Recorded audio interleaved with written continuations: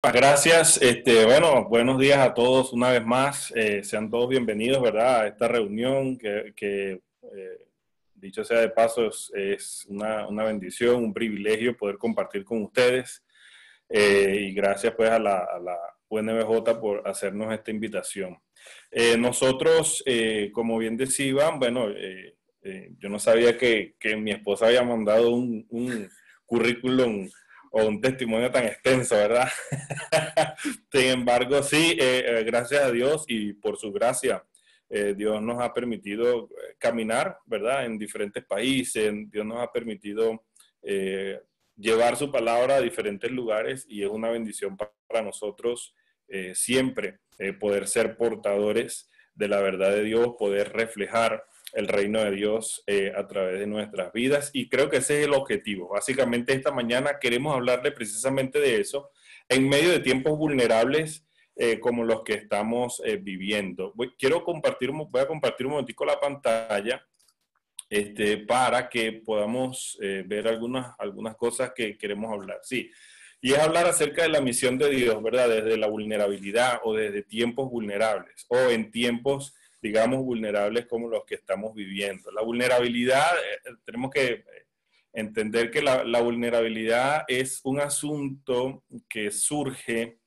eh, o el concepto, ¿verdad?, de la vulnerabilidad surge de nuestras propias debilidades internas. Es decir, desde cualquier ámbito que tú puedas analizar la vulnerabilidad, no, la vulnerabilidad no tiene que ver con asuntos externos, o con las circunstancias externas propiamente, sino con la situación interna que nosotros podamos manejar.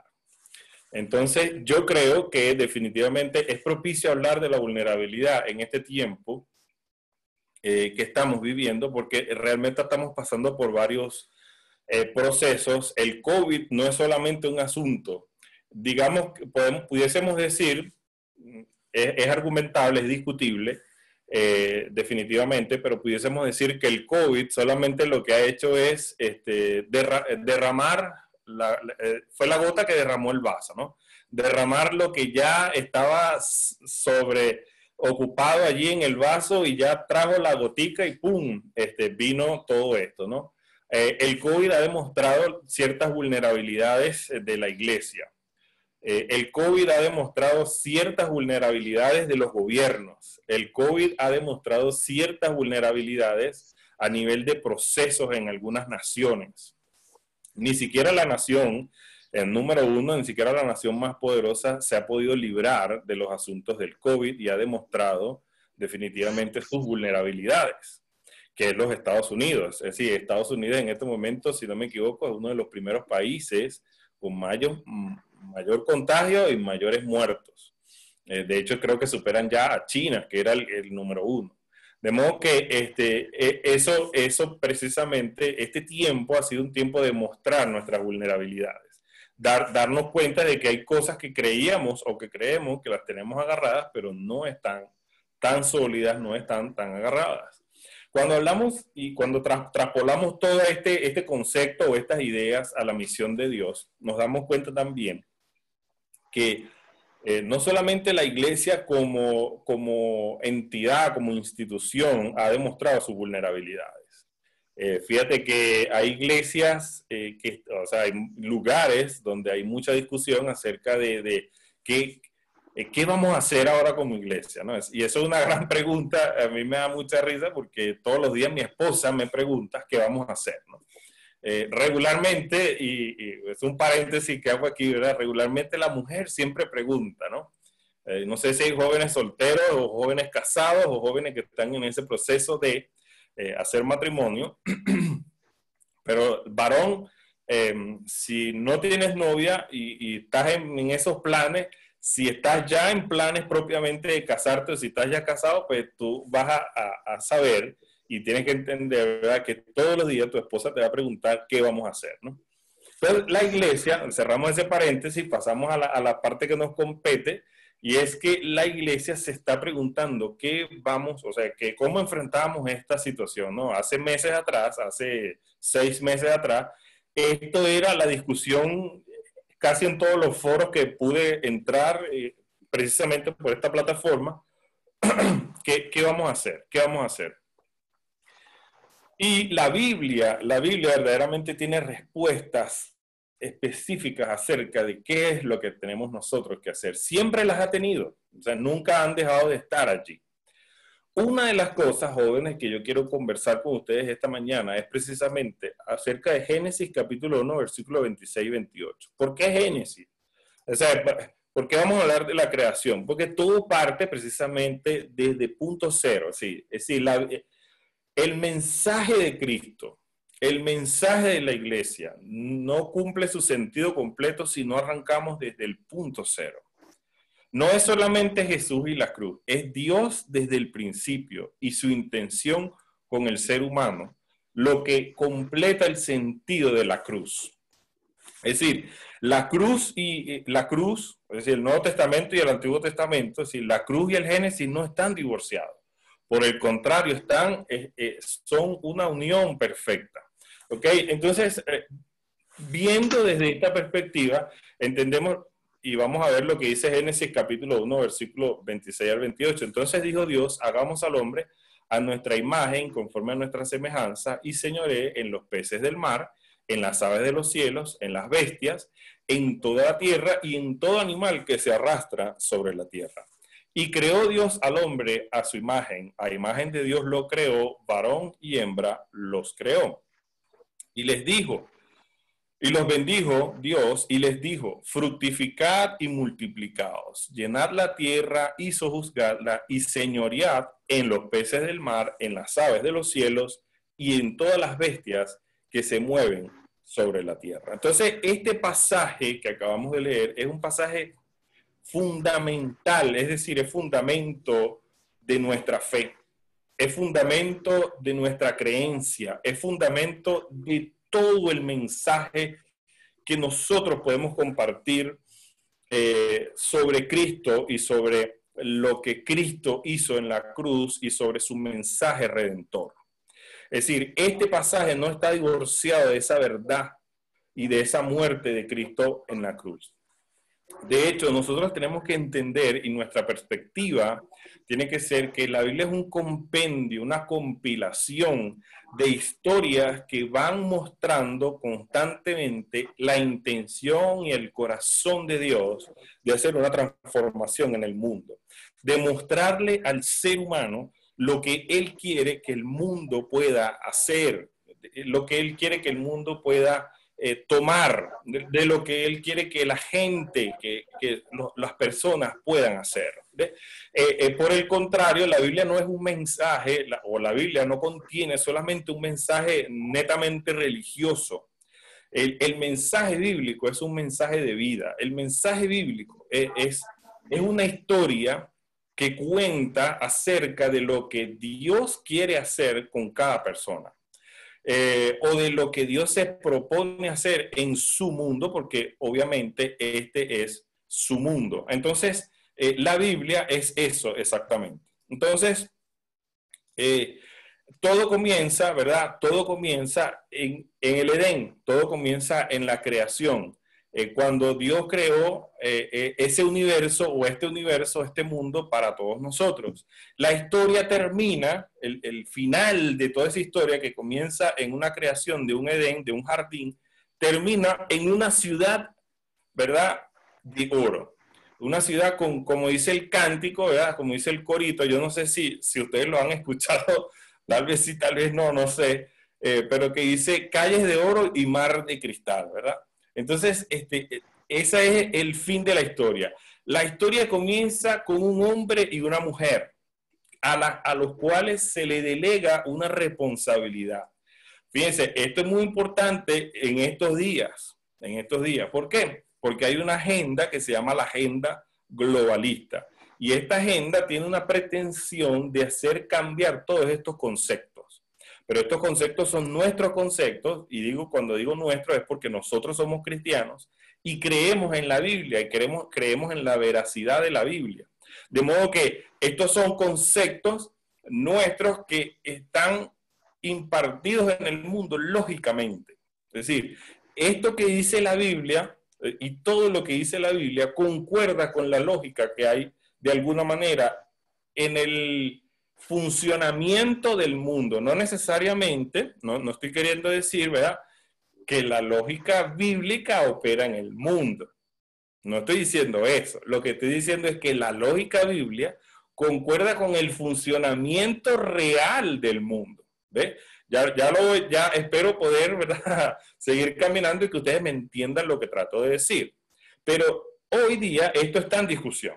Esto es una discusión de las mesas de hoy en el mundo, en muchas naciones, especialmente acá donde nosotros estamos, donde impera el feminismo, donde tú no le puedes decir a una mujer, o sea, o pudiese ser una situación difícil, imagínense ustedes esta realidad que nosotros vivimos acá, que probablemente todavía es diferente a la de Venezuela.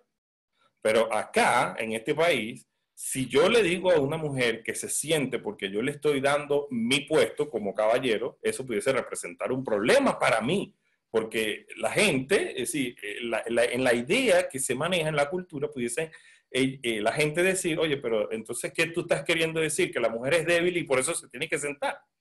Es decir, es decir un acto de caballerosidad pudiera ser completamente cuestionado este, en este momento.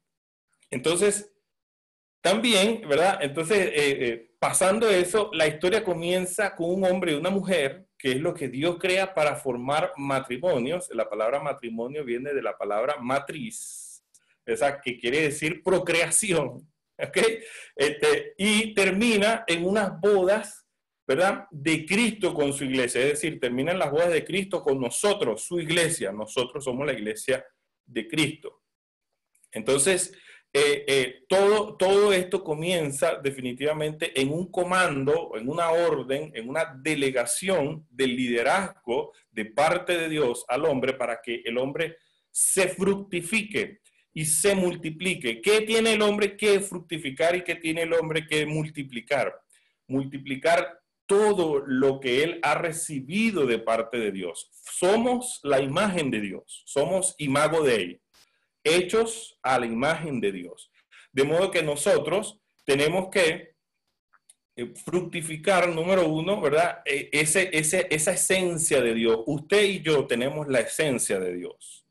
Eh, eh, cuando usted muestra sus sentimientos, cuando usted ve que piensa, que razona, que memoriza, cuando usted ve que usted tiene características específicas en su propia personalidad, déjeme decirle que esas son características que Dios no solamente te las puso a ti, sino que son de Dios y tú las llevas, sino que son características que son propias de Dios que Él te ha permitido que tú puedas tener.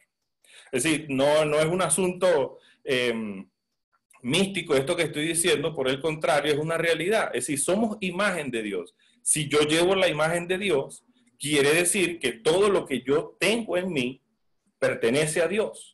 Es decir, yo soy reflejo de Dios. ¿ok? Entonces Dios quiere que nosotros multipliquemos y que fructifiquemos qué cosa?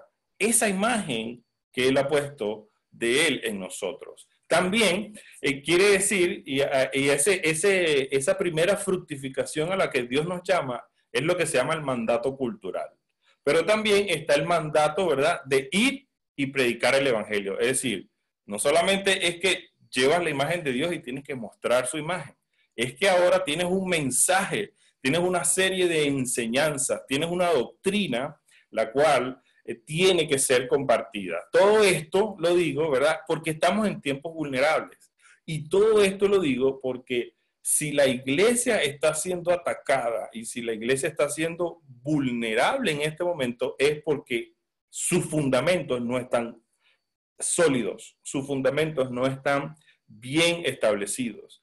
Pero nosotros, número uno, estamos llamados a fructificar y multiplicar la imagen que Dios nos ha dado. ¿Ok? Cuando usted ve, por ejemplo, y quiero que piensen por un momento, quiero llevarlos a pensar este, sobre esto. Cuando usted ve, por ejemplo, ese, ese sembradío de uvas allí, ¿qué ven ustedes? ¿Qué ven ustedes? ¿Ustedes, ustedes solamente ven un racimo de, uva, de uvas o ven algo más? ¿Ok? Si pensamos de manera visional, si usted ve una uva allí, ¿qué ves? ¿Qué puedes ver? ¿Qué puedes sacar de esas uvas que tú ves allí. Bueno, mira, yo, eh, si pensamos visionalmente, yo agarro un racimito de eso y veo un jugo, ¿verdad? Eh, si un mendocino, ¿verdad? Yo, yo estoy en la provincia de Mendoza, en Argentina, si un mendocino ve todas estas uvas, ese mendocino ve un vino, ¿verdad? Porque aquí este, este lugar es, famoso por sus vinos. Este, si usted, eh, si a, lo mejor... Yo veo unos tabaquitos árabes con, con las hojas. Así, por ejemplo, ese, hay gente que ve una comida deliciosa allí con, la, con las hojas de las uvas. Este, otros pudiesen ver más viñedos, más eh, sembradíos de uva, ¿verdad? Eso pudiese ser una opción. Eso es exactamente lo que Dios hizo con nosotros. Nos entregó un jardín para que nosotros construyéramos. No solamente un, otro jardín, sino para que nosotros expandiéramos todas aquella, aquellas cosas buenas y como dice la escritura, que todo fue hecho bueno y bueno en gran manera, nosotros las pudiésemos expandir. Nosotros pudiésemos de ese, de ese poquito o de ese espacio pequeño tal vez que recibimos, nosotros pudiésemos expandirnos, expandirnos a cosas más grandes. ¿sí? En la humanidad ha venido, ¿verdad?, desarrollando ciertas cosas, música, la humanidad ha venido desarrollando las artes, la humanidad ha seguido, ¿verdad?, expandiendo, eh, sí, se ha sembrado, se han crecido eh, flores, arte, costura, lectura, escritura, eh, películas hacemos a, este punto, pero todo esto, todo esto en medio de una gran rebelión que ha habido de parte del hombre, ¿sí? Y esa rebelión lo que trajo fue la muerte, eso lo vemos en Romanos 3:23, ¿verdad? Porque la paga del pecado es la muerte. Entonces, e, esa rebelión que trajo muerte, trajo una muerte espiritual y trajo una muerte física. El mal, al entrar al mundo, dañó todo lo que, lo que fue la moral, ¿verdad? Porque hay un mal en este momento moral en el mundo. La moral eh, que se maneja actualmente es una moral que está viciada, ¿sí? Hay un mal en la creación. El planeta, de alguna manera, yo no soy, yo no soy, eh, digamos, creyente ni defensor de la teoría del calentamiento global. Yo de hecho, yo no, yo no compagino con esa idea. Pero sí es muy cierto y sí es verdad que sí hay un mal que se ha hecho en la creación, ¿sí? Y hay un mal institucional. Las instituciones se han dañado, las instituciones se han corrompido. ¿Ok? Y no, eso, eso es a causa, ¿verdad?, de la rebelión del mundo. Pero Dios nos ha llamado, más bien, Dios nos está llamando a nosotros a que nosotros en medio de todos los males que hay, nosotros plantemos y fructifiquemos su verdad y su palabra. Fíjense que la verdad de Dios, es decir, ¿qué hace la Biblia? ¿Qué hace la Biblia? Eh, la Biblia es la única que tiene el poder para transformar, para transformar individuos que a su vez transforman sociedades y que a su vez transforman naciones. Eso es lo que nosotros eh, queremos hablar hoy. ¿Por qué? Porque eh, yendo, pensando sobre esto, nuestras vulnerabilidades en este tiempo, más allá del COVID, más allá de todo eso, nuestras vulnerabilidades están precisamente en que nosotros no podamos manejar la verdad bíblica que pueda producir la transformación. Una de las grandes verdades es que Jesucristo es la verdad. Jesucristo mismo es la verdad. Juan 14, 6. Yo soy el camino, la verdad y la vida. ¿Ok? Entonces, Jesucristo mismo es la verdad. Él es la representación de la verdad. Ahora, pudiésemos decir, ¿qué es la verdad? ¿Qué es la verdad? ¿Cómo, cómo, cómo definimos nosotros en este momento qué es verdad? Hermano, la verdad es la descripción de la realidad. Es decir, lo que tú ves, lo que está al frente tuyo, esa es la verdad. ¿Sí? Si tú ves una pared que es blanca, y tú dices, ¿Cuál es la descripción de la realidad? La realidad me dice a mí que esta pared es blanca. No hay otra manera de decirlo. Si una mujer se pone frente a un espejo a sí misma y se ve con todos eh, este, sus, eh, sus órganos, ¿qué va a ver ella en sí? Una mujer. Si un hombre se pone al frente de un espejo, ¿qué va a ver? Este, con textura, fisura, eh, perdón, fisura no, fisonomías de hombre. Esa es la realidad. Pero hoy día nos quieren decir que la realidad no es lo que tú ves, no es la, no es la descripción de la realidad. Hoy la verdad es lo que tú percibes en tu mente. Lo que tú crees o lo que tú quieres creer en tu mente. Esa es la verdad. Pero esa no es la verdad. La verdad es la descripción de la realidad. El cielo es azul, celeste. Eh, eh, eh, las nubes son blancas, ¿no? no tienen otro color y son grises cuando, cuando ¿verdad? hay una, una situación allí físico-química que cambia su color, pero definitivamente las, las nubes se describen como blancas, el cielo se describe como azul, ¿verdad? Y el sol se describe como brillante. De modo que esa es la descripción de la, realidad. Y Jesucristo es la verdad. Él en su evangelio se describe a sí mismo, se muestra a sí mismo como Él es. De modo que Él es la verdad y a través de Él es que nosotros podemos hacer redención entonces del, mundo. Jesucristo vino a hacer redención, ¿verdad? Como dice Romanos 6:23, ¿verdad? Eh, porque la paga del pecado es muerte, más la dádiva de Dios es vida eterna en Cristo Jesús quien es el único mediador, el único medio que tenemos para nosotros poder eh, tener una relación con Dios, poder hacer redención de las cosas. ¿sí? Eh, en, Romanos capítulo 1 dice la escritura que la, creación gime a una eh, por la regeneración de los hijos de Dios. ¿sí? Dios, la creación, el mundo, ¿verdad? están en espera de que nosotros, sus hijos, abracemos esta verdad, agarremos esta verdad, como dicen los llaneros, agarremos el toro por los cachos, y entonces nosotros manifestemos esta verdad al mundo. ¿Por qué? Porque es una historia que transforma las vidas, es una historia que transforma las historias. Ahora, la verdad entonces eh, decimos que es la descripción de la realidad. Quiero hacer un, un paréntesis en este momento, antes de seguir hablando acerca de la verdad. Porque eh, muchas veces yo he estado hablando sobre esto y mucha gente me pregunta, bueno, pero, pero, pero ¿qué tiene que ver esto con la misión? ¿Qué tiene que ver esto que me estás diciendo este, con, con alcanzar al mundo y llevar el mensaje? Hermanos, hacer familias sanas, eh, familias fundamentadas en la verdad de Dios, es un aspecto de la gran comisión. ¿Usted sabe cómo, cómo se lo puedo comprobar yo? Yo se lo compruebo a través del ejemplo de los mismos musulmanes. ¿Sabes por qué? En Europa actualmente la estadística dice que por cada familia musulmán 5.1, si no me equivoco, eh, de personas están creciendo. Es decir, que cada familia musulmana está teniendo alrededor de 5 a 6 hijos por familia. Las familias cristianas en Europa se están multiplicando en 1.2%.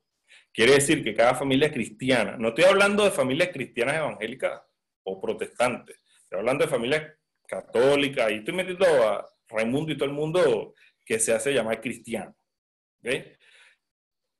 Quiere decir que la, como digo, la media de, la situación es que mientras las familias cristianas crecen o tienen uno o dos hijos cuando mucho, los musulmanes están teniendo cinco a seis hijos. ¿Dónde nos lleva eso? Hermanos, se estima que de aquí al 2050, que eso es dentro de poquito, de aquí al 2050, Europa va a ser una sociedad completamente islámica ya la Europa que nosotros hemos conocido o, que, tal vez imaginamos o que vemos por las redes sociales, por las fotos, lo que sea, no va a ser la misma. Va a cambiar mucho. Estados Unidos más o menos está en los mismos procesos aquí en América, en este lado del, del mundo. Entonces, estamos hablando de que esto es clave para la misión de Dios, porque si nosotros no, no fomentamos más familias, si nosotros desobedecemos el mandato que Dios nos dio, estamos en graves problemas y vamos a seguir estando en muchos, en problemas mucho mayores. ¿Ok? Entonces, eh, esta es la verdad. Esta es, eh, esto que estamos hablando, somos imagen de Dios, eh, llevamos y tenemos que ser portadores de su imagen y llevar la imagen de Dios al mundo. Esta es una verdad que nosotros tenemos que fundamentarnos en este tiempo. Que la familia es de un hombre y una mujer, esta es una verdad. Así lo hizo Dios desde el principio, hombre y mujer, no mujer y mujer, hombre, hombre. ¿Ok? Este, en la realidad y la verdad, La verdad es la descripción de la realidad. No es lo que tú crees en tu mente, como dice el mundo que ahora tenemos que pensar. Ahora yo me autopercibo. Imagínate, eh, interesante, ¿no? Ahora es autopercepción. De, yo me autopercibo hombre o me autopercibo mujer, de mi lo que yo quiera, y entonces ah, de, de, acuerdo a esa realidad vivo. Y hay realidades mucho peores. Fíjense, la verdad hoy mismo, hoy mismo la verdad está este, siendo eh, cuestionada, siendo completamente, la, quieren diluirla, evaporarla. ¿Por qué? Por el relativismo. Cualquier cosa, ¿ya? ¿qué es relativismo? Cualquier cosa eh, puede ser verdad. Eh, yo, yo puedo tomar esto o aquello de aquí, de allá y puedo hacer mi propia verdad. No hay una verdad absoluta, todo es relativo. Este, hay, una, hay una situación donde eh, se ha vuelto a un, se ha retornado a los asuntos esotéricos, ¿verdad? Eh, por ejemplo, en Venezuela hay una se ha fomentado muchísimo en estos últimos 20 años esa, esa santería, e, esa vuelta a esos asuntos extraños, se, han habido rebrotes satánicos, ¿verdad? Ha, surgido una nueva manera de, de, de lo satánico, con unos estilos extraños, ha, habido un encantamiento, ¿verdad?, de lo asiático, entonces eh, la gente pensando en el yin yang, eh, pensando en el yoga, cristianos, yo he visto por redes sociales, oye, no voy con mi clase de yoga. ¿Qué es eso? Esa es una totalmente confusión, confusión eh, total allí en ese sentido. Este, una reducción a lo extraterrestre. Ahora, por ejemplo, por el TikTok, me mencionaba mi esposa este, que ha habido una seducción de las cosas extraterrestres, ¿no? Entonces ahora eh, la gente pensando, eh, poniéndose ojos de gato, este, la gente poniendo ojos, ojos de reptiles, tal, no sé qué, entonces que, que, yo no sé quién se le pusieron los ojos así o asado, entonces resulta que viene del gato, viene del perro, viene del reptil, viene la lagartija, viene qué, sé yo ni qué, ¿no? Entonces, es una cuestión, eh, o sea, una, una fomentación, una confusión enorme en la mente de la gente en, medio de todas estas cosas. Entonces, la gente esclavizada de estas mentiras, ¿no? Esclavizada, ¿por qué? Porque fíjate que en estos días leíamos un artículo acerca de un hombre, precisamente en las redes sociales, que ya voy a tocar ese tema en las redes sociales, rapidito, donde eh, un hombre se, se, hizo un tatuaje, se tatuó toda la cara de escamas verdes, se tatuó toda la cara se puso unas cosas, unos cachos, una broma así, que se yo ni que, se hizo unas operaciones, se puso los ojos así raros, una cosa O sea, lo cierto es que era un hombre que se hacía, eh, su percepción de su propia realidad era que él era lagartija. Y él era, no solamente que era sí, lagartijo o lagarto, sino que era lagartija femenina. Entonces, una labio, una cosa. toda esta esclavitud, imagínate esta persona, se, su realidad cambió, su cara, su, su gesto cambió con esta cuestión. Entonces ahora vemos un asunto con las redes sociales, la gente enfocada mucho en las redes sociales de una manera eh, viciosa, eh, te levantas y lo primero que abres es Facebook, la cosa, en vez de buscar la verdad de Dios, o por lo menos, por lo menos tener una palabra con Dios, algo así, sino que más bien la gente está atada, se acuesta con las redes sociales y se levanta con las redes sociales, ¿sí? Este, eh, viven todo el día con, con, las redes. No lo usas como un elemento, como un instrumento, sino que las redes te tienen atado a ti. Montones de imágenes hay sobre este asunto.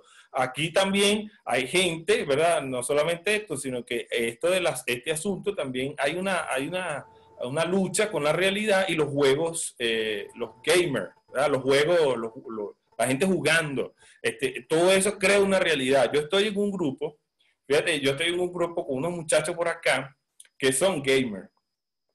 Y muchos de ellos tienen nombres, ellos se ponen unos nombres extraños aún en el grupo, este, porque ellos se autoperciben guerrero este, eh, luchador aquel, ¿entiendes? Toda una, toda una transformación de la realidad. No es ese el, tema, ¿no? Entonces, finalmente, y, lo que la Biblia nos dice, fíjate, el espíritu, eh, ya que no veo ahí el, oye, se me fue el, no, así, No sé si pueden ver este, el, el, versículo, yo no lo puedo ver bien, pero bueno. ¿Ah? Sí se alcanza a leer Jesús. Ah, el Espíritu dice claramente que en los últimos tiempos algunos abandonarán la fe para seguir, ¿verdad? Eh, inspiraciones engañosas y doctrinas diabólicas. Es decir, gente en este tiempo está en esa transformación de cosas. Entonces, fíjense que eh, sobre estas cosas que estamos diciendo, ¿verdad? Quiero eh, establecer lo siguiente, y esta es una verdad central. La historia de Dios. Tiene el poder de transformar vidas, sacar comunidades de la pobreza, Hermano, eh, no es que el pecado sea pobreza. la pobreza es consecuencia del pecado. ¿Ok? Y la pobreza no es solamente un asunto de falta de recursos. La pobreza es precisamente una mala utilización de los recursos. Eso sí es pobreza. ¿Ok? Este, y la Biblia también tiene otra verdad clave que es construir naciones libres, no esclavizadas, es decir, la verdad de Dios quiere, no quiere construir gente vulnerable, gente esclava. Esto, eh, todas estas cosas que estoy diciendo, eh, los homosexuales, toda esta gente que se autopercibe, todo eso son vulnerabilidades de la gente que se ha esclavizado a sí misma por falta de conocer la verdad de Dios. ¿Ok? La, la, la, la Biblia quiere construir espacios, lugares y naciones más justas y no corruptas, ¿verdad? De acuerdo a la justicia bíblica. Y también eh, lugares, espacios, personas más compasivas y no crueles. Entonces, este, yo quiero concluir y quiero abrir un espacio aquí. Quiero que ustedes eh, interactúen conmigo en, este tiempo de discusión, un momentito, eh, que vamos a tomar, si me permiten allí los jóvenes, y vamos a, hacer algo. Yo, yo voy, vamos a, ver, aquí hay este, cuatro preguntas, ¿sí? Cuatro preguntas. La primera es, ¿Cuál es la verdad central de Génesis, capítulo 1, versículo 26 al 28, que lo acabamos de leer al principio, ¿verdad? ¿Qué es la verdad? ¿Cuáles son las amenazas de la verdad en este tiempo y cuál es el rol que debemos cumplir en este mundo como iglesia? Entonces yo quisiera tomar un tiempo, tomamos unos minutitos solamente y quiero ver sus interacciones en el chat, ¿sí? Quiero que usted comparta eh, de alguna manera lo que ha entendido hasta ahora, lo que, de lo que hemos eh, conversado y de lo que hemos hablado. Porque es interesante, ¿verdad?, que nosotros podamos ir construyendo de alguna manera ideas y yo soy fiel creyente de eso. Entonces vamos a contestar esas preguntas en el chat, me gustaría ver. Eh, voy a dejar de compartir la pantalla, pero antes voy a leer las preguntas nuevamente. ¿Cuál es la verdad central de Génesis capítulo 1, versículo 26 al 28? Cualquiera puede contestar esa, ¿sí? ¿Qué es la verdad? También cuáles son las amenazas de la verdad en este tiempo, es decir, qué cosas están amenazando la verdad y cuál es el rol que debemos cumplir en este mundo como iglesia, de acuerdo a lo que hemos discutido hasta ahora. ¿sí? Todo esto lo he planteado yo, de modo que este, voy a dejar de compartir pantalla entonces en este momento y quisiera ver algunas interacciones en el chat. Vamos a ver eh, qué dice, quién dice algunos de ustedes. ¿Sí? Traten de agilizar allí esas manos porque este, el tiempo corre y le toca a mi esposa. Aquí vemos en el chat, ¿sí? Vamos a ver si hay algunas interacciones eh, de algunos de ustedes respecto a esto que hemos discutido.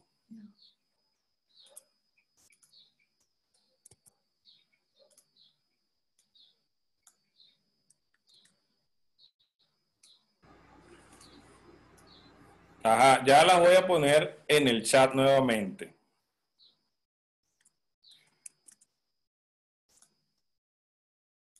Las voy a poner, las, preguntas las voy a poner ahora mismo por el chat.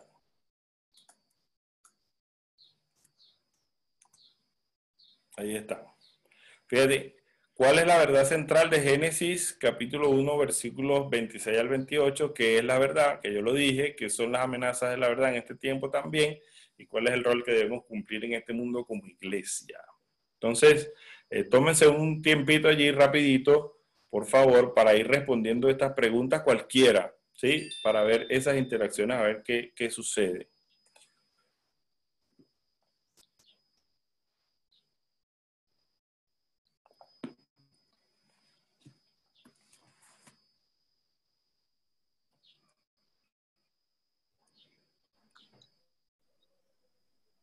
Disculpe, ¿se puede hacer las preguntas por acá?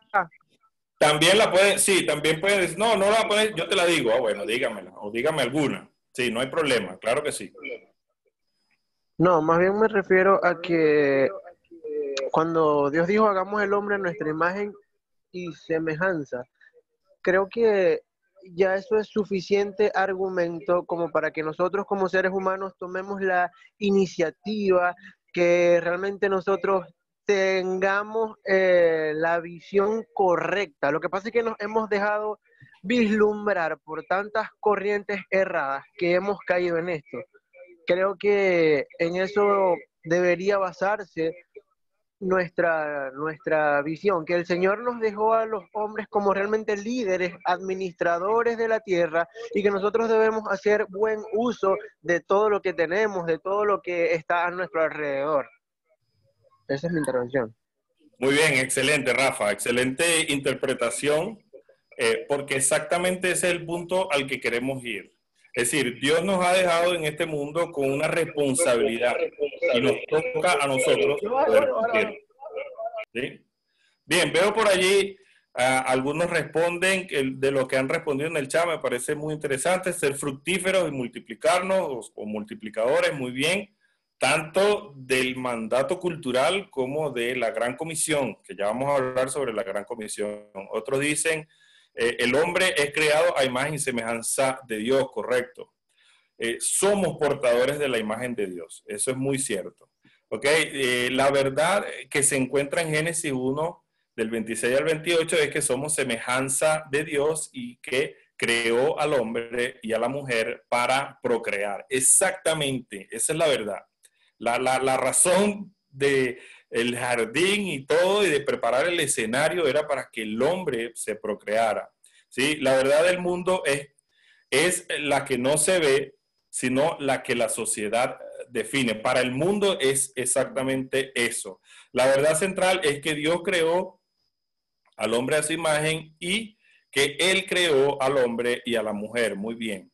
La verdad es la realidad de lo que está a nuestro alrededor. Decir, Exactamente, la descripción, describir la realidad tal cual como es, no lo que tú crees que ves, ni siquiera, es, es lo que hay, la realidad, describir lo que hay, la tierra es marrón o negra o amarilla en algunos casos, los cauchos eh, son, de, son de petróleo, son de, este, el, del material que son y son negros, ¿entiendes? Esa es describir, eh, describir la realidad, ¿sí?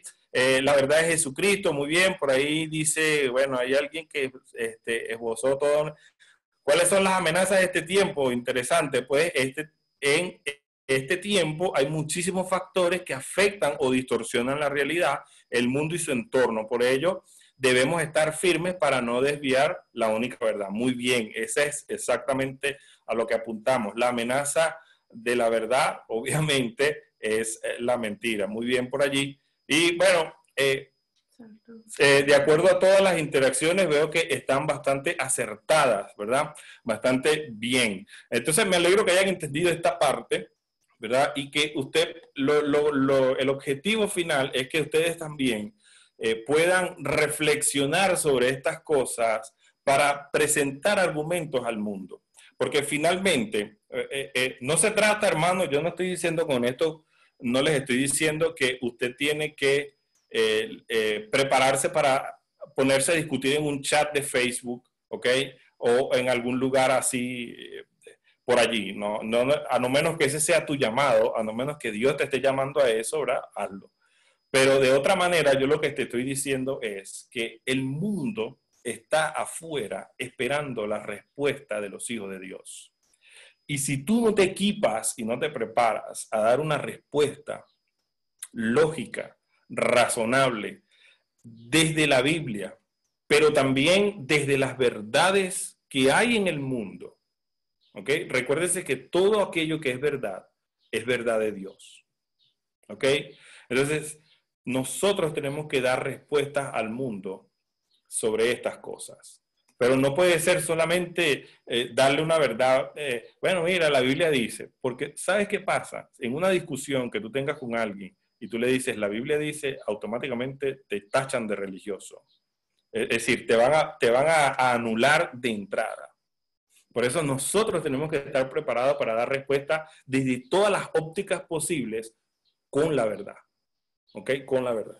Entonces, eh, bien, en este momento vamos a pasar, ya, ya dada la discusión, vamos a ir a una segunda parte de, esta, de este compartir que tenemos con ustedes. Entonces, le voy a pedir, ¿verdad?, que preparen allí sus corazones. Vamos a seguir hablando, pero esta vez vamos a hablar acerca de fructificarnos de acuerdo a la gran comisión. ¿Qué es la gran comisión? ¿Qué dice la gran comisión que nosotros tenemos que tener en cuenta?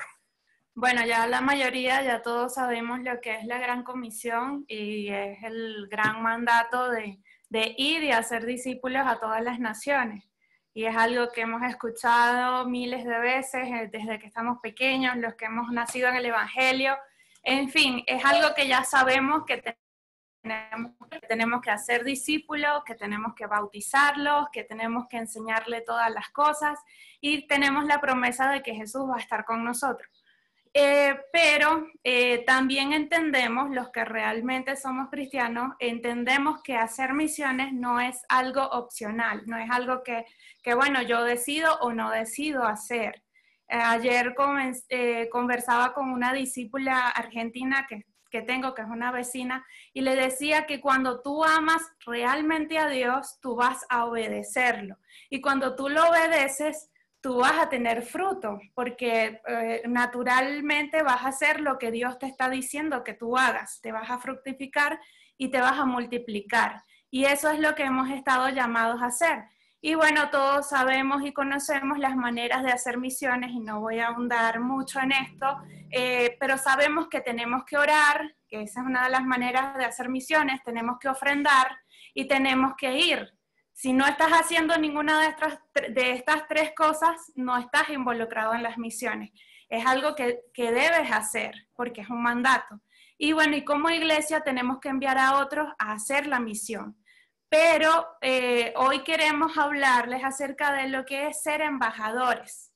Eh, hay algunos que me alegra el hecho de que hay algunos que están acá conectados, que bueno, están en Venezuela, pero hay otros que el Señor los ha llevado a, otro, a otras naciones. Hoy estamos este, en diferentes partes del mundo, pero donde sea que estemos, así estés en Venezuela, así estés en Colombia, en Perú, en Chile, donde sea que estés, recuerda que tu patria no es, no es Venezuela, bueno, en un sentido sí, pero nuestra patria es la celestial y somos embajadores. Y me gusta esto de, ser embajadores porque no sé si han tenido la oportunidad de conocer las actividades que hace una embajada, pero por lo general las embajadas este, promueven la cultura del país que representan. Eh, colocan comida, este, representan las tradiciones, este, las formas de hacer, eh, las cosas, es para demostrarles de dónde son. Y la Biblia dice claramente que nosotros somos embajadores. Y, bueno, me gusta esa, esa analogía que dice Pablo, ah, que se me perdió, de que dice Pablo, porque debemos promover la cultura de nuestro reino. ¿Y cuál es ese reino? El reino de los cielos. Pablo dice en 2 Corintios 5, 19 y 18, 18 y 19, un versículo que me gusta mucho porque dice que Dios estaba en Cristo reconciliando consigo al mundo, no tomándole en cuenta sus pecados, pero nos encargó a nosotros la palabra reconciliación. Entonces, donde tú quieras que esté, eh, esa es la palabra que tenemos, o sea, nos encargó la palabra reconciliación. Tenemos que reconciliar a la gente con Dios entregar ese, fructificarnos para que ese mensaje del Señor, la verdad, pueda llegar para poder este, disipular individuos que van a formar sociedades, que van a a su vez tener comunidades sanas y a su vez naciones sanas. Eh, parece una misión imposible, pero no lo es. Nuestro trabajo es simplemente llevar el mensaje. El Señor es el que va a dar el crecimiento. Entonces, como ya dije, cada nación tiene una cultura que promover y nuestra, nuestro reino tiene una cultura, pero ¿cómo podemos lograr esa gran comisión? Bueno, somos embajadores de un reino y ese reino tiene una cultura que que está basada en el carácter de Dios. Y ese, ese carácter de Dios lo podemos resumir, son tantas cosas, pero lo podemos resumir en tres palabras. Uno, en lo que es la verdad. Ya hemos hablado de la verdad. Y Juan 17, 17 dice, santifícalos en tu verdad, tu palabra es la verdad. Ante toda la vulnerabilidad que podamos estar viviendo en el mundo de, de, lo, de las fake news, de este, las ideologías, de las teorías de, este, de conspiración, lo que pueda haber o lo que se está hablando, nosotros tenemos la respuesta, porque tenemos la verdad. Otra de las cosas que tenemos que promover es la, la justicia. Romanos 14, 17. dice, porque el reino de Dios no es comida ni bebida, sino justicia, paz y gozo en el Espíritu Santo. Y otra de las cosas que tenemos que promover es la belleza. Dice Eclesiastés 3:11 que Dios hizo todo en su tiempo, todo lo hizo hermoso. Entonces, siguiendo con esto, tenemos que promover la verdad. Somos embajadores y tenemos que decir la verdad siempre. Cada vez que veamos que alguien dice una mentira, tenemos que refutarlo y decir, no, la Biblia dice esto. Eh, no, eso no es así porque la realidad es esta, ¿no? Que yo me siento hombre, nací mujer, eh, pero me siento hombre. No, pero la verdad es que tú eres una mujer. Y tenemos que refutar y decir la verdad. Muchas veces al decir la verdad vamos a ser este, enjuiciados, vamos a caer mal pero tenemos que decir la verdad porque hacia dónde vamos, la gente está pensando muchas cosas, hay muchos paradigmas en el mundo, hay muchas cosmovisiones y debemos estar claros en qué es la verdad, qué es lo que dice la Biblia con respecto a la familia, qué es lo que dice la Biblia con respecto al planeta, qué es lo que dice la Biblia con respecto al propósito de la vida, porque muchos dicen que el propósito de la vida la tienes tú en tu ser y lo encuentras en ti mismo. Nosotros tenemos las respuestas porque tenemos esa verdad. Tenemos que ser personas que practiquemos la justicia, que es la parte ética. Este, podríamos ahondar mucho en esto, en muchos ejemplos, pero este, se lo voy a dejar de tarea cómo podemos practicar la justicia donde estamos. Tenemos que practicar la belleza, que es la estética. Tenemos que ser personas que desplegamos belleza. ¿Por qué? Porque, como ya lo dije, Dios creó todo en su tiempo hermoso y además Dios es un Dios de orden. Así que yo tengo que tener belleza en mi hogar, en mi cuarto. Y si Dios es un Dios de orden, este, cuando yo tengo mi cuarto desordenado, vamos a hablar nada más de mi cuarto, el lugar donde yo duermo. Si yo tengo algo desordenado, yo le digo a las personas, ahí no está Dios. y lucho conmigo misma en el sentido de que yo tengo que desplegar belleza, que las personas al entrar en mi casa puedan sentir que este es un pequeño, o decir, la sucursal del cielo. Entonces, todo tiene que ser hermoso. Entonces, tengo que desplegar belleza no solo en mi hogar, sino en mi entorno y también en la ciudad donde yo vivo. Ahora ustedes me dirán, bueno, ¿y qué tiene que ver todo esto con misiones? Pues tiene que ver muchísimo y este, me gusta mucho porque este, ahí entra uno de los personajes favoritos míos, eh, que es William Carey, que fue nombrado el padre de las misiones modernas y es conocido como un misionero que transformó una nación. Él entendió completamente lo que era la verdad, la justicia y la belleza fue un hombre influyente en la industria, además fue un economista, fue médico, luchó por los derechos humanos, fue un pionero en las comunicaciones y bueno, hizo eh, una revolución en cuanto a la moral. Eh, algo que hizo en la India, yo no sé si ustedes conocen la cultura hinduista, ellos piensan que la realidad lo que vemos, que eh, las plantas, los animales, todo es mentira porque es como maya, que no tenemos que invertir en eso porque, porque a la final no existe, eh, no es realidad. Pero algo que hizo William Carey fue tener muchos jardines y eso llamó mucho la atención a las personas de la India. Y aunque ustedes no lo crean, por el simple hecho de tener jardines, muchas personas llegaron a conocer a Dios. Él, él, él lo hizo porque él creía que la naturaleza era declarada buena y también porque su creador este, la había hecho con un propósito. Él introdujo la máquina al vapor, él introdujo la idea de los bancos de ahorro, y él hizo el primer periódico en India, comenzó proyectos, comenzó escuelas, y bueno, en fin, hizo muchas de las cosas que, que, uno pudiera pensar, bueno, y todo eso lo hace un misionero, no se supone que lo que tiene que hablar es de Biblia, este, evangelizar, no, muchas de las cosas que podemos hacer eh, en cuanto a misiones es eso, es reflejar, es promover, es fructificar, multiplicar la cultura del reino del que somos. Entonces, este, me gusta mucho que, que, William Carey lo hizo no para reformar la India y transformarla en sí.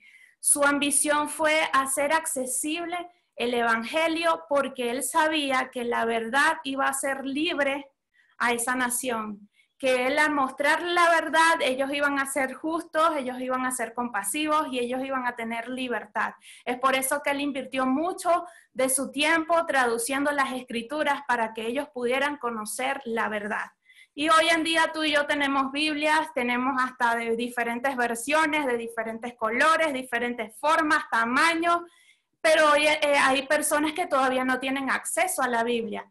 Quizás la tienen, pero no la han leído. Pero ahí es donde entramos tú y yo, donde podemos hablar acerca de esa verdad. Y ese impacto cultural que hizo William Carey estaba eh, enraizado en el compromiso que él tenía de predicar la palabra de Dios. Y él fue un pionero en las misiones modernas. Y es por eso que en el día de hoy queremos que tú te involucres en, lo que es la misión de que te fructifiques, que te multipliques en otros. Que lo que tú has aprendido, quizás diga, bueno, yo no he aprendido muchas cosas, pero lo poco que sabes lo enseñes, que multipliques y promuevas esa cultura del reino. Comprométete a orar. Eh, ya hablamos de eso, que eso es parte de hacer misiones, pero adopta una nación. Ahorita estábamos orando por Turquía. Ha sucedido algo allá.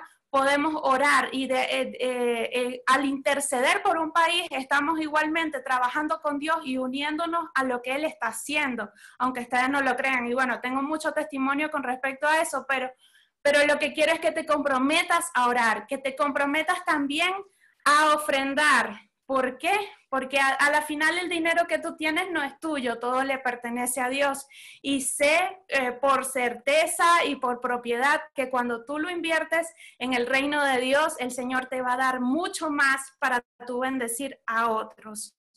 Entonces, y por último, eh, queremos desafiarte a que te comprometas a ir, aun cuando estás en Venezuela, aún en esta situación o aún si estás en otro país, hay muchas maneras de ir. No solamente eh, tiene que ser casa por casa, salir y obviamente estamos en una situación cuarentena, bueno, nosotros acá, eh, que cada día hay más contagios, pero hay muchas maneras de ir. Y bueno, ese es nuestro desafío para ti hoy, que te comprometas a promover la cultura del reino al cual tú perteneces. Sí, por eso también esta eh, mañana, ya terminando esta parte, eh, quisiéramos dejarles algunas ideas, algunas formas en que ustedes pueden, eh, digamos, involucrarse o seguir involucrados en la misión de Dios. por ejemplo, lo primero que, que, pudieses hacer es crear contenido edificante, ¿verdad? Crea contenido edificante que sirva eh, para tú seguir extendiendo el reino de Dios. Hay muchas maneras de crear eh, contenido edificante. Puedes, eh, puedes hacer el, digamos, el ABC, ¿verdad? De, crear contenido edificante, que es un contenido aplicable, es decir, cosas que la gente puede imitar, puede hacer. crea, crea contenido bíblico y crea contenido claro. ¿Sí? Ese es el ABC eh, de crear contenido edificante, aplicable, bíblico y claro. Eh, también puedes crear historias, ideas traen consecuencias, ideas tienen consecuencias. Una idea en tu cabeza tiene una consecuencia. Eh, si tú formas, o sea, si tú estás pensando en algo, maquinando sobre algo, eventualmente vas a actuar sobre eso que estás pensando.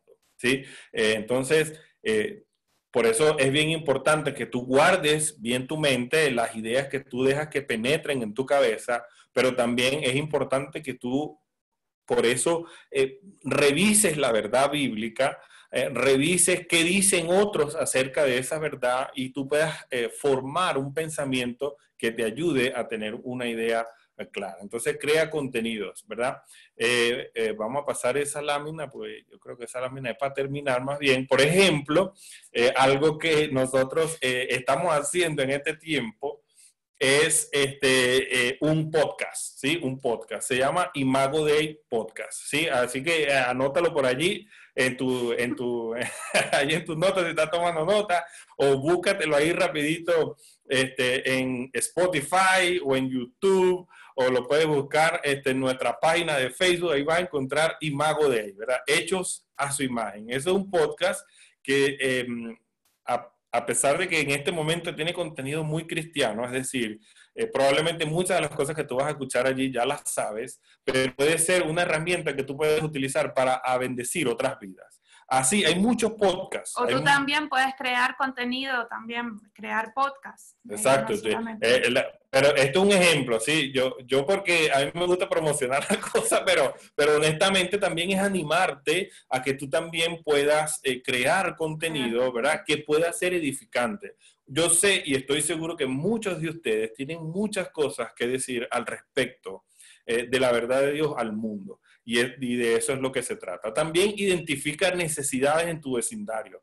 Em, eh, me voy a detener aquí un momentico eh, para decirte algo que, es aplicable. Fíjate, yo, yo tengo un amigo, bueno, ustedes lo deben conocer, él es el, el, director ejecutivo actualmente de la convención, que es Elier Romero, y él y yo hemos caminado muchas, muchas cosas, ¿no? Eh, una vez estuvimos en, Panamá, estuvimos en unas conferencias bien interesantes con un autor de un libro que se llama Discipulando las Naciones, se llama Darrow Miller. De ahí surgieron muchas ideas. Este, una de las ideas bien interesantes que Lier eh, pudo construir a partir de esas conferencias fue everdelismo. Yo no sé si alguno de ustedes ha estado en esas conferencias que él da acerca de everdelismo, pero identifica las necesidades en tu vecindario. Fíjate lo que sucedió con everdelismo. No sé si, lo sabes, bueno, si no lo sabes, te lo explico rapidito. Eh, luego de eso, eh, eh, cuando Elier forma Everdelismo, ahí en la iglesia Unidos en la, Unidos en la Fe, este, están en una urbanización y tenían los jardines, o la parte que eran los jardines, muy descuidada. Entonces, ellos como iglesia, eh, a partir de esta idea que se formó, que se llama verdelismo, entonces fueron a la acción y viendo una necesidad que había en esta organización, reconstruyeron la parte de los jardines. Este, eh, al cabo del tiempo, unas personas estaban tratando de, de, meterse allí en los jardines y medio dañar allí las plantas que se habían sembrado y todo el jardín que había construido la iglesia y los mismos vecinos sacaron a esas personas del lugar porque estaban dañando lo que la iglesia estaba haciendo. Es decir, la belleza eh, eh, y, en medio de una necesidad, de alguna manera, que tenía la urbanización, este, los mismos vecinos respondieron favorablemente a eso.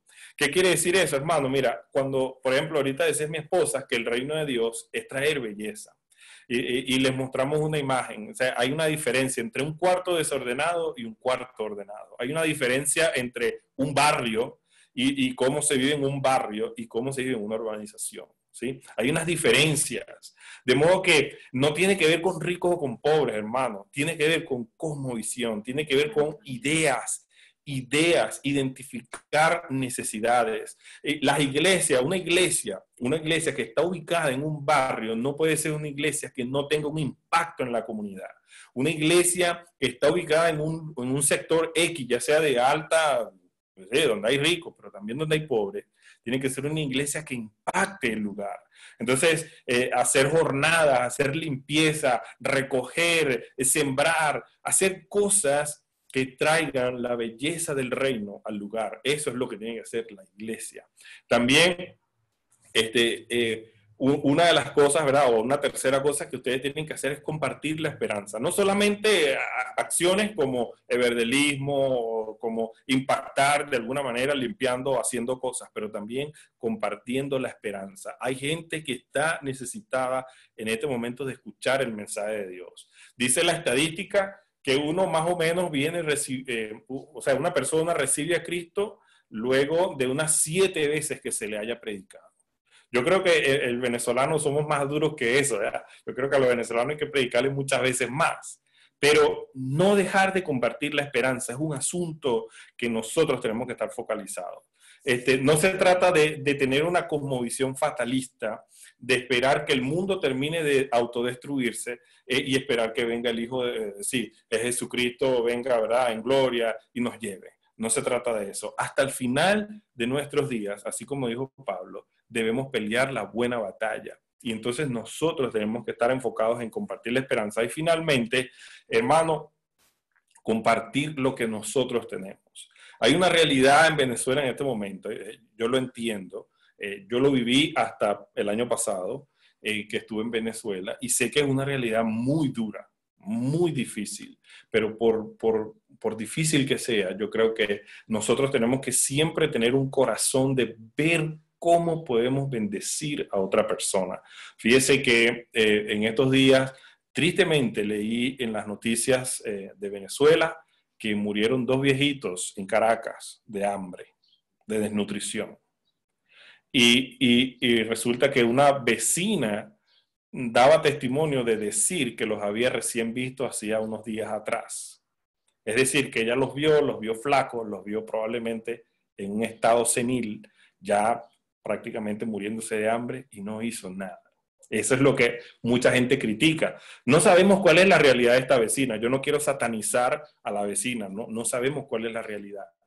Pero lo que sí quiero eh, terminar diciendo es que nosotros debemos compartir entonces lo que tenemos. Entonces, hermanos, eh, Ignacio dijo en una oportunidad, oh Señor, enséñanos a servir como tú mereces, a darte y no considerar el costo, a luchar y no hacerle caso a las heridas, a esforzarnos y no demandar descanso, a trabajar y no pedir recompensa, convencidos, oh Señor, de saber que hacemos tu voluntad.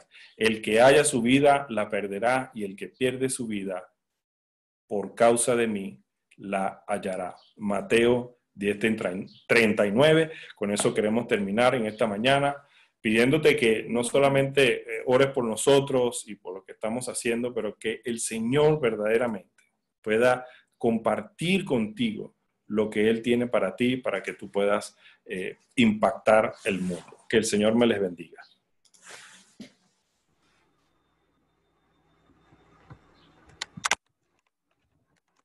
Gracias Jesús, gracias Mario por darnos la oportunidad de, conocer eh, la palabra de Dios puesta de forma tan pertinente a nuestras necesidades.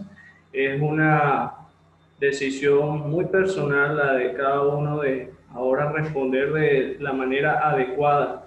Y bueno, eh, vamos a aprovechar este tiempo para compartir con nuestros hermanos. Si hay algo de lo que ya han hablado, entendemos que hubo una parte en donde nuestro hermano Jesús pues interactuó allí por el chat okay, y, hubo una buena respuesta. Si después de allí usted tuvo o tiene una interrogante o quiere hacer un comentario que aporte al crecimiento de todos, ¿verdad? O también comentar, dar palabras de felicitación a nuestros hermanos, eh, este es el momento. Así que por allí o puede escribirlo o y ubicarse allí por la pantalla y levantar la mano para entonces eh, hacerlo llegar.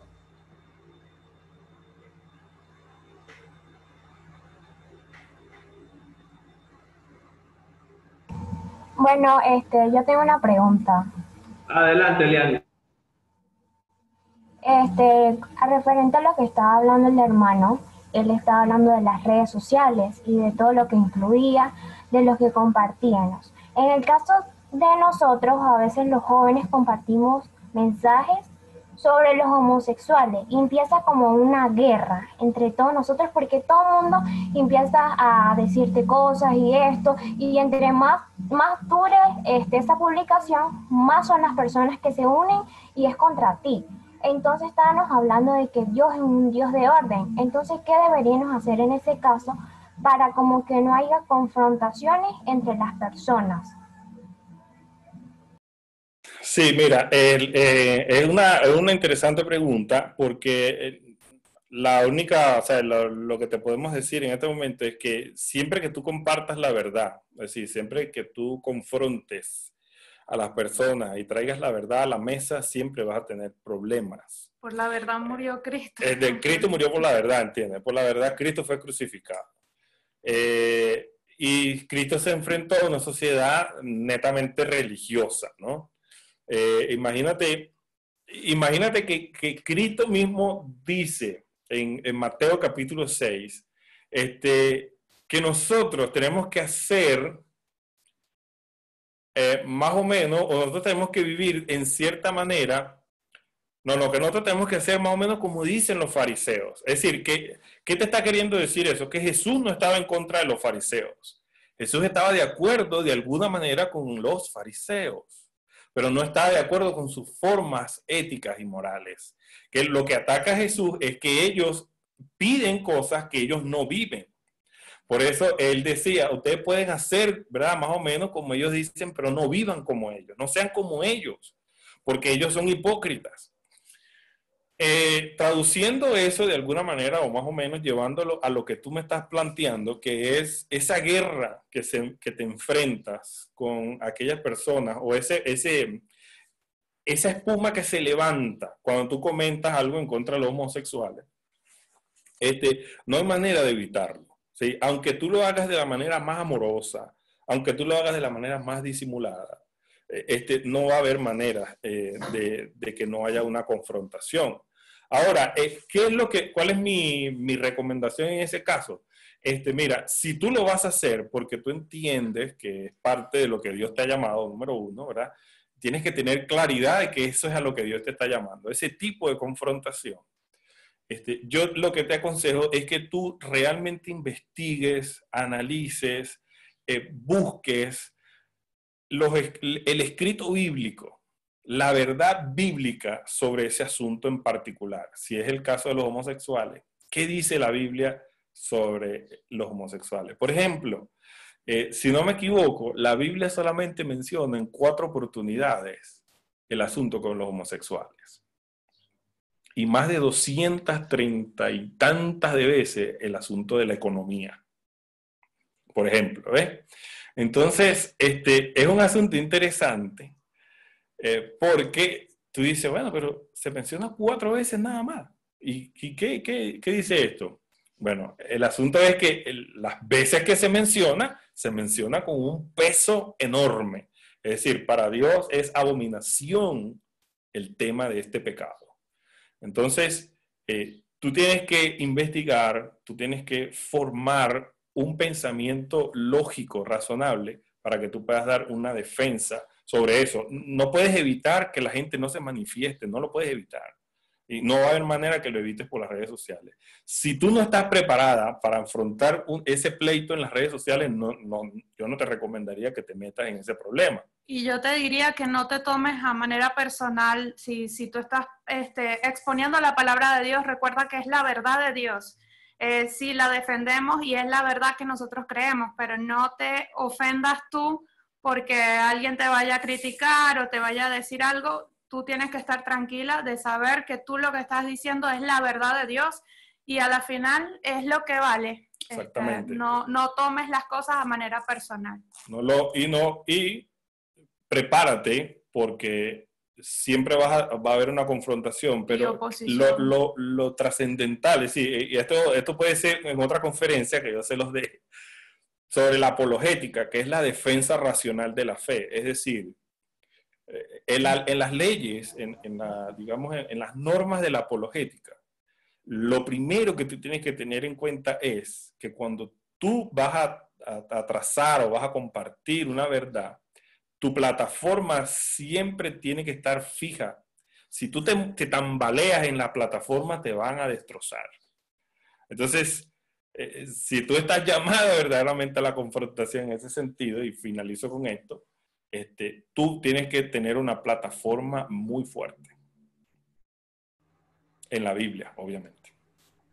Por acá escribe en el chat eh, Jesús y Marion, eh, la hermana Rebeca, dice con respecto a las redes sociales que vemos tantas cosas por Facebook, que son amigos de uno, eh, como creyentes, al igual que por TikTok, ¿cómo podemos aclararle a ellos? No entendí muy bien allí, pero me imagino que tiene que ver con lo que estabas compartiendo acerca de las redes sociales.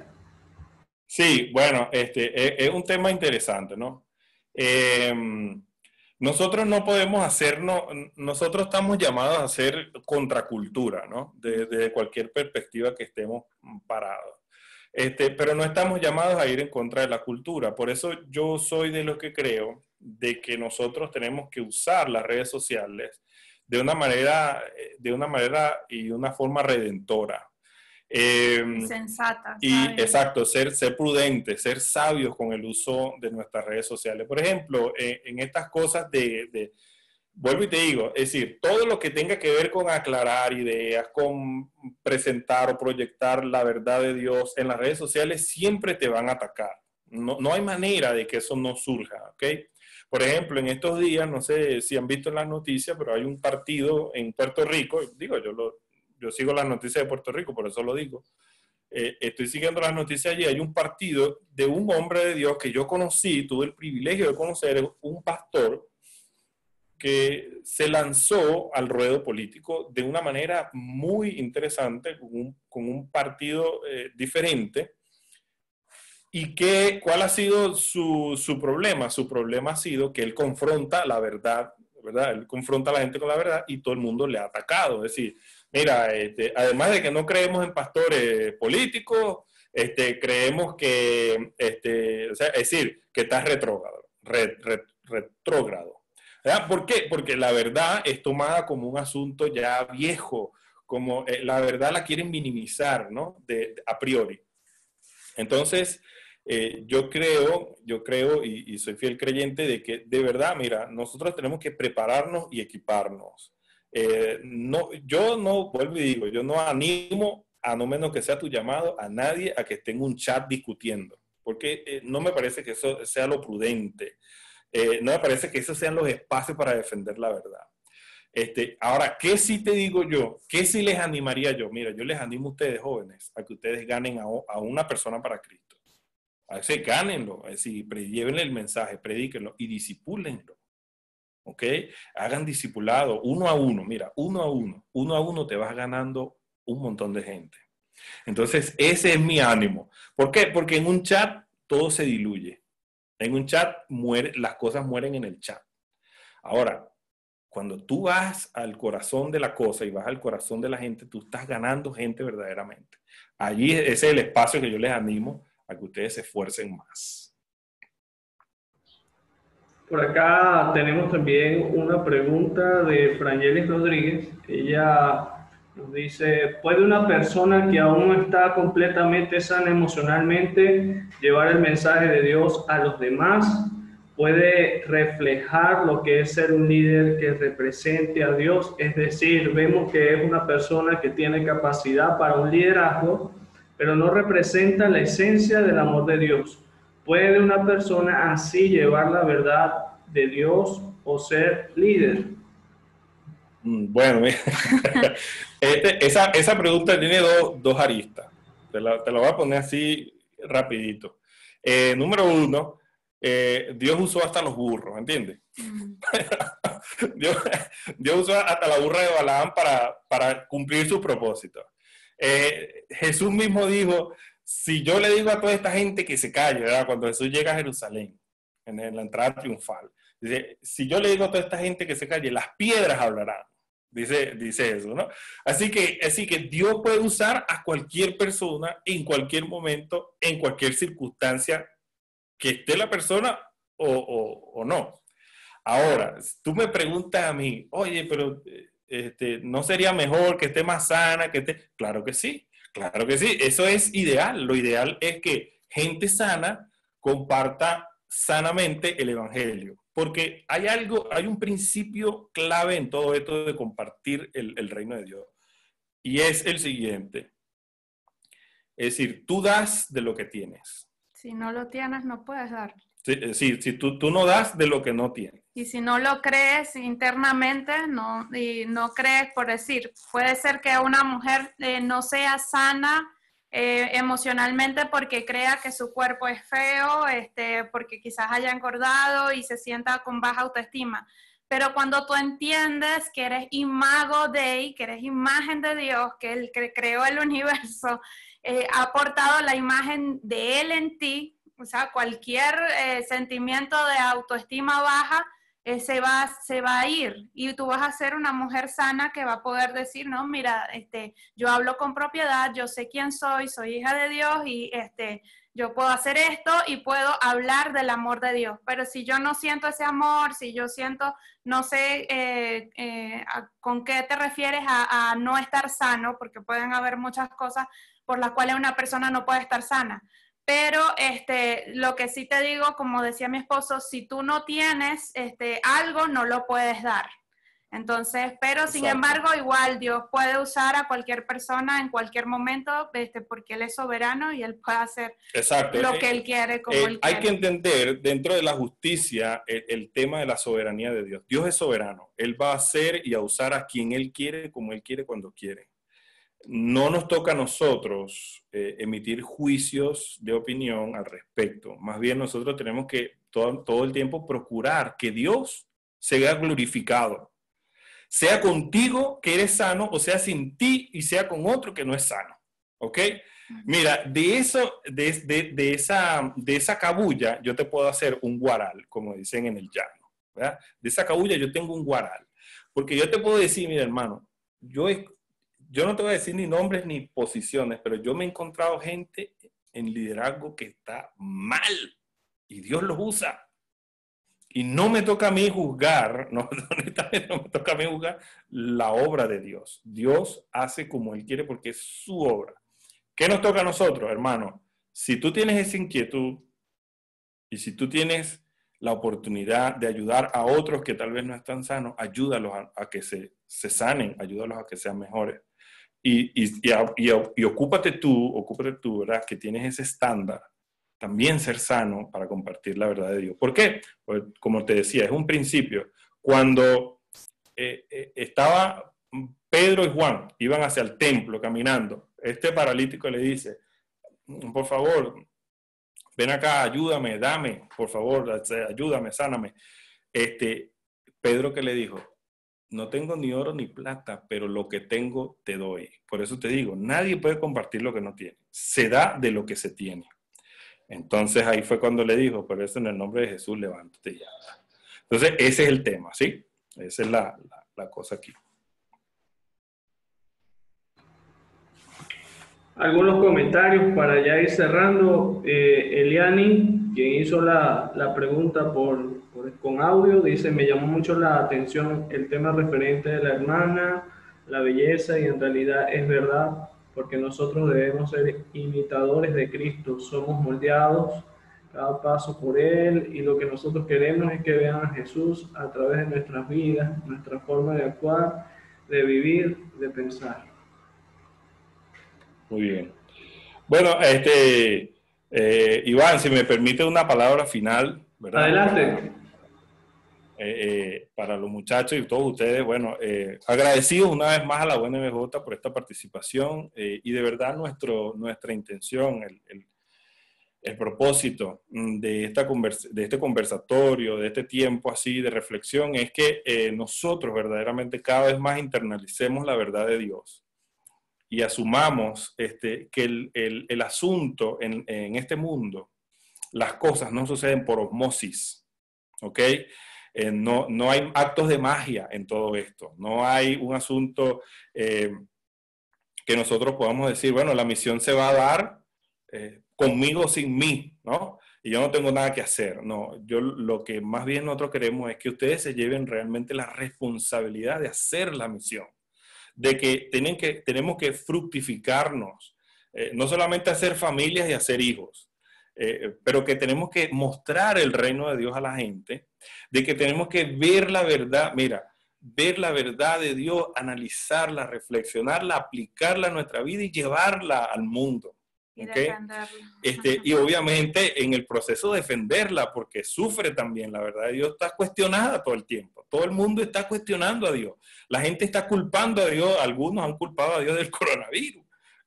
¿Qué vamos a decir? ¿Qué tiene la iglesia que decir a, ese respecto? ¿Qué tiene la iglesia que, eh, cuál respuesta puede dar la iglesia entonces ante todos los desafíos que se están presentando? Ante, ante aquellos que creen que, que son homosexuales eh, o que son eh, mujeres cuando son hombres y que son hombres cuando son mujeres. Es decir, ¿qué tiene la iglesia? ¿Cómo la iglesia va a recibir a estas personas? Eso es lo que viene. Eso, eso está a las puertas de nuestra realidad. Eso es lo que viene. ¿Cómo los vamos a recibir? ¿Cómo los vamos a tratar? ¿Les vamos a denigrar o les vamos a amar como haría Jesús? Aunque, aunque para Jesús este pecado es abominación, hermanos, yo estoy seguro que Jesús les amaría tal cual como te ama a ti.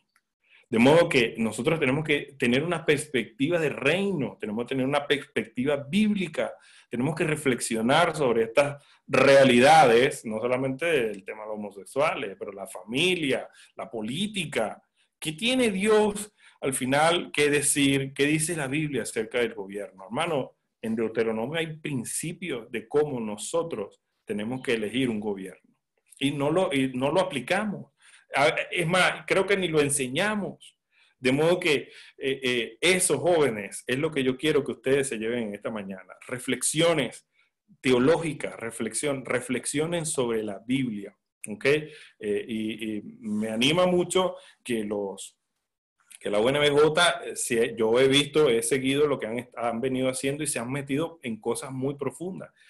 Y de eso, hermanos, ustedes tienen que buscar frutos. Así que ánimo, adelante, sin temor, llevando la bandera, el estandarte de Cristo al frente constantemente. Que el Señor me los bendiga.